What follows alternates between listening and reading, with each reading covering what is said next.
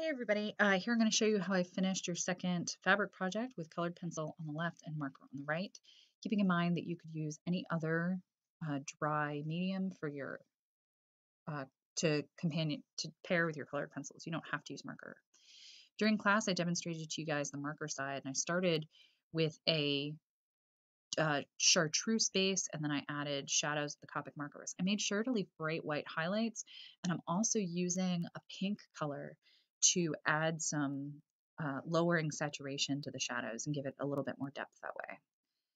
I went ahead and tried to lay in a bunch of colors to get a medium tone for the background.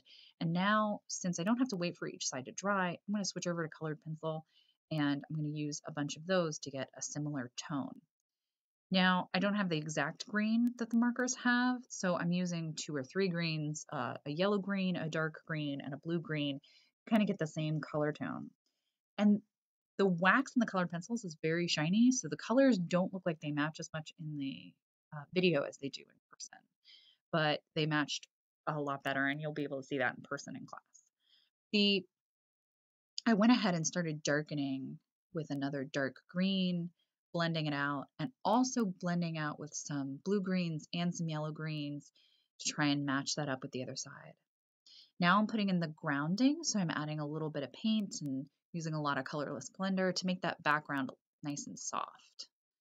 And I'm going to move back over into the shadows and darken some of those up, kind of punch it up a little bit, and continue to work on making sure some of those edges really fold over and round over and everything looks really nice.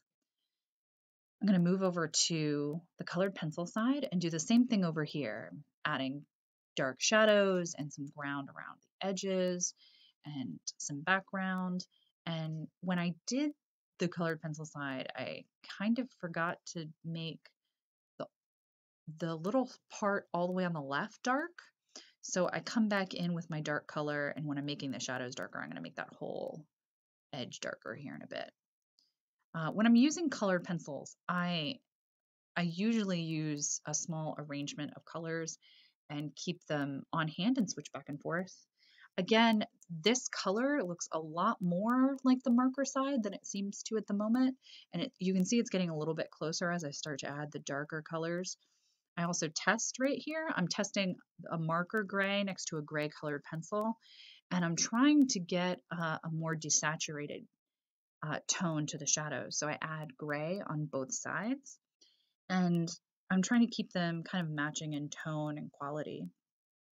I also am going to leave half of this colored pencil side as colored pencil, and half of this colored pencil side I'm going to put mineral spirits on. So at the end, I just punch up the, the dark darks on the marker side because I did a better job punching up the colored pencil side. So now I'm going to go ahead and add some mineral spirits. I'm going to divide that colored pencil side in half, and I'm going to just gently apply mineral spirits with the blender. And I don't want to push too hard because this is on Bristol, so it doesn't really absorb very well. So I really don't want to kind of oversaturate the paper. Um, you can see that now that the mineral spirits are on here, I get a really good color match with the other side. And you can also use, uh, after you've used the mineral spirits, you can go ahead and use the colored pencils again and blend out a little bit more. And that is both the colored pencil and the marker start to finish.